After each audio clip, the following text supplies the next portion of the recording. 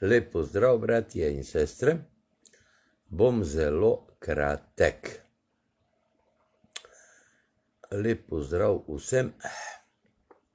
V Ljubljani so ta trenutek ljudje na ulicah.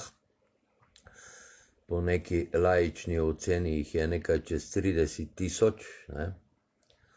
In uh, jaz jim pomagam, kljub temu, da je to, kar počnejo, nesmiselno kajti nimajo v svoji zavesti, da so še zmeraj zasužnjeni z mentalnimi sklopi in parazitizmom. Tako da njihov končni cilj ni osvoboditev ljudstva in osvoboditev eh, človeštva, ampak je njihov končni cilj znebice represije v Sloveniji. Ne? Eh, oni, oni niso v stanju dojeti in razumeti, da je potrebno odstraniti antisistem, ki vlada, se pravi vse politike, vse stranke, eh, eh, čisto vse, kar je na politični sceni in eh, kar drži ljudstvo v suženstvu, je treba odstraniti.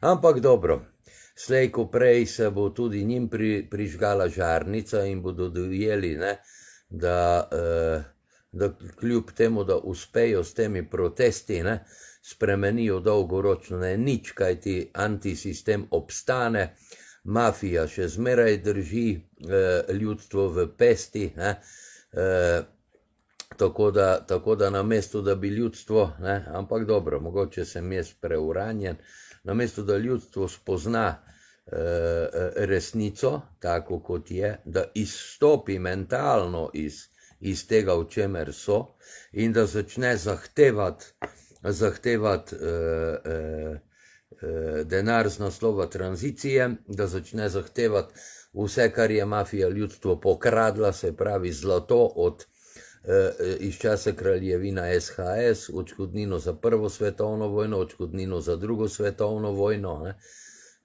Skratka, da se osvobodi okupatorja, okupacija Eh, strani politike oziroma vlade oziroma antisistema in ta okupacija je vse prisotna od krajevne skupnosti pa do, do Bruslja ne?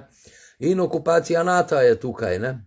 E, ampak dobro, ljudstvo tudi ni, ni sposobno sprejeti odgovornosti za svoje življenje na se. Ne? Ampak dobro, ok, kljub temu jaz delujem, ne, uh, jaz delujem in jim pomagam, vsem protestnikom, evo pa bomo naredili eno analizo. Ne. Evo tako. Ne. Tukaj se točno vidi, da je javnost geoinženiringa. Poglejte, kaj vse delajo, ne, da bi pokvarili vreme v Ljubljani. Ne, In da bi uh, uh, ustvarili uh, take pogoje, da ljudje gredo domov, ne, da, da se razidejo po domovih in tukaj se točno vidi, kako jih onemogočam. Ne morejo z juga, ne morejo z zahoda, ne morejo z severa, ne morejo vračati fronte, sedaj nabijajo, nabijajo tukaj gor, a ne zato, da bi mene onemogočili. Ne, ne dam jim tega veselja, naj se lepo protesti mirno odvijajo. Ne in te dni me čaka ogromno dela, kajti na meni je, da je na vseh protestih v celi Evropi, pa ne samo v, v Evropi, ne, eh, stanje v atmosferi oziroma v ozračju tako, da se ti protesti lahko nemoteno odvijajo. Ne. E, tako kot jaz naivno pričakujem, da bodo ljudje spoznali resnico in in uvideli, da so zasužnjeni znotraj sebe, ne zunaj. Ne? E, tako je naivno, naivno moje pričakovanje, da ljudje e, vejo resnico, da to več ni atmosfera, ampak je tehnosfera. Ni, ne, ne obstaja več atmosfera, obstaja tehnosfera. Vse na nebu je e, e, kontaminirano, in eh, tehnološko eh, ustvarjeno. Vsak oblak, vsak prašek na nebu, vse je tehnologija. Ne? In tukaj glavno vlogo igra, igra prav umetna inteligenca. Ne?